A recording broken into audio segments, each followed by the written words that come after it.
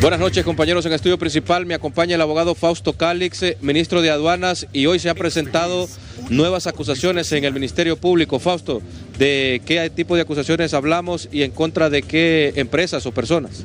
Efectivamente, Luis, saludos al pueblo hondureño a través de HCH. Hemos remitido tres expedientes, tres denuncias ante el Ministerio Público este día. Van involucradas tres eh, empresas, la primera de ellas por el supuesto delito de contrabando. Se trata de una empresa que se dedica a la distribución de cemento en nuestro país. El perjuicio fiscal son más de 9 millones de lempiras.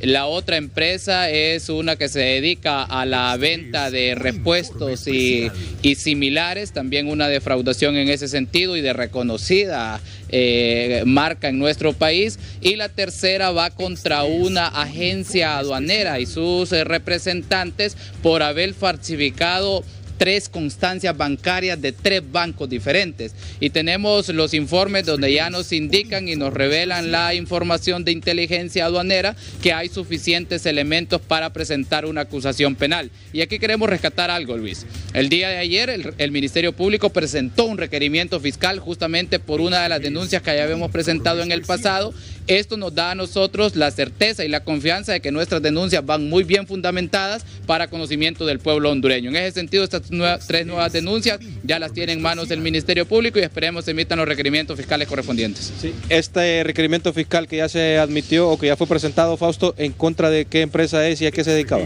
El requerimiento fiscal que presentó el Ministerio Público el día de ayer por una denuncia que presentamos nosotros eh, es una defraudación de más de 5 millones de lempiras contra una zona libre ubicada aquí en Francisco Morazán, donde el representante legal también presentó una resolución falsa de la Dirección de Franquicias Aduaneras en materia de exoneración por el impuesto al combustible. Logramos identificar eso y remitimos la denuncia al Ministerio Público y ya nos hemos dado cuenta que el día de ayer presentó el requerimiento fiscal contra el representante legal de esta empresa. Así esperamos que las demás denuncias que hemos presentado avancen de forma significativa y finalmente logremos ver a todas estas personas acusadas en los tribunales y juzgados de la República.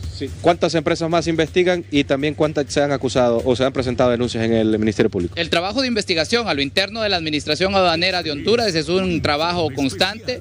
Eh, tenemos eh, desde inicios de año más de 50 empresas que hemos venido investigando para pues, procesos de fiscalización aduanera por defraudación al fisco. Muchas de ellas eh, anuentemente han colaborado con la institución en pagar los tributos que con base a ley dejaron de pagar en su momento y otras que no lo hacen pues van a tener que responder ante el Ministerio Público porque así lo indica la ley.